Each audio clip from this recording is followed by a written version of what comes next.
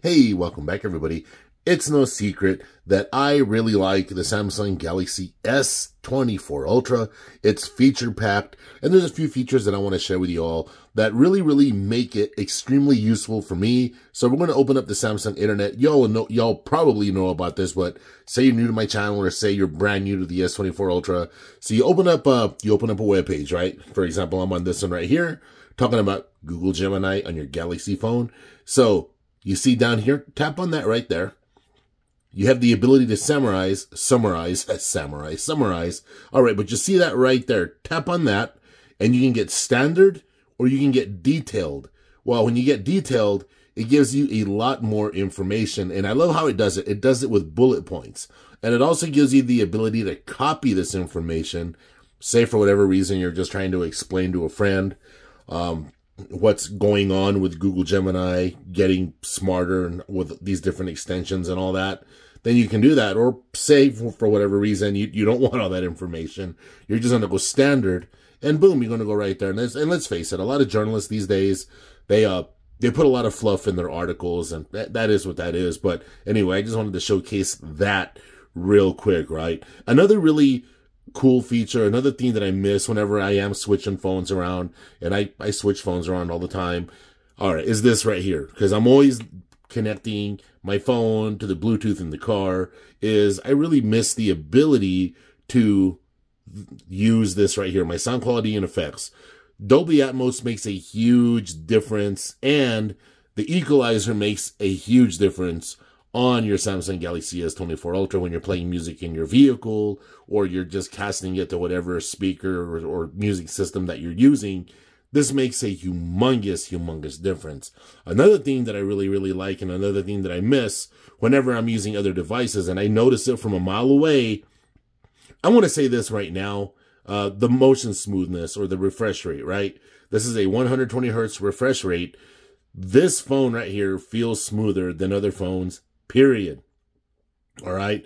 But say you don't want to use this, you have the choice to go down to standard. You can use that.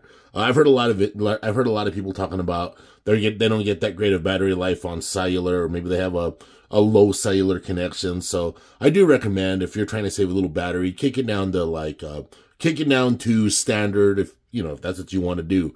Another thing that I think is super super awesome, and I always miss it whenever I go to another phone that doesn't have this level of display customization is I really miss this right here. I miss being able to just tune my display the way I want it. And that's just so amazing right there to be able to do that. And it just looks great. You know, it just, it looks terrific. And it's a wonderful thing to be able to do that. All right. Another thing that I miss whenever I'm messing around with other phones is press and hold, go to your setting, these home screen settings right here, this is basically like using a custom launcher. You can adjust your home screen, your app screen, your full, your, uh, your folder grid, all that stuff, right? And I, I, have a lot of people telling me, you know, they're hoping that, uh, the, the upcoming iOS, uh, iOS 18 update, they're hoping the public uh, release will actually give them the ability to not just arrange the icons, but to, you know, to adjust your grid. So you don't, so you're not just stuck with a four by four grid or whatever. You can actually do what I'm showing you right here. You can come over here and you can actually, your home screen grid can be five by five. Your app screen grid can be five by five.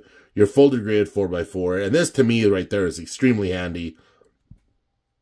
It's extremely, extremely handy and I love it. All right, everybody. This has just been a few features that I really, really love. I could go on and on talking, or this this video will end up being like 30 minutes long. The S24 Ultra is still the best phone that you can get in 2024. I almost said 2022. That's crazy.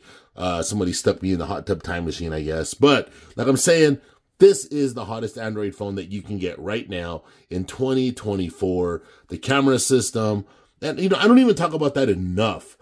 Like when you really dig into this camera system, all the different things you can do, all of the different settings. It's just, it's amazing the stuff you can do with this. It's just nice. I enjoy it. Super cool. I mean, the features go on for days and days with your Samsung Galaxy S24 Ultra. I got tons more videos to make about this device.